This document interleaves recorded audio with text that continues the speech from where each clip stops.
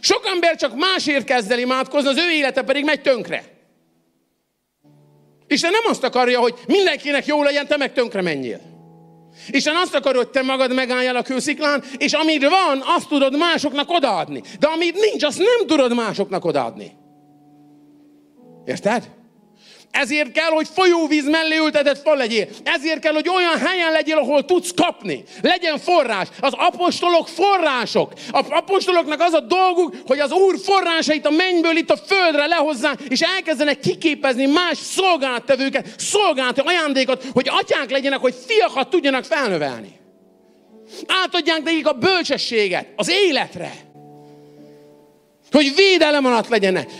A legnagyobb probléma a bolondság. És a világi gondolkodásmód. Ezért akarok ma bölcsességről beszélni. Amiből ki kell jönnöd, hogy bolondul gondolkozzál. A bolondságnak van szelleme, nem tudom, tudjátok-e? A hülyeségnek is van szelleme.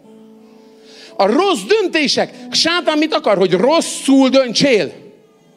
A társkérdésbe, az anyagiakba, a szellemi életbe, hogy bolondá tegyen téged, hogy ne legyen tekintélyed a szellemvilágba.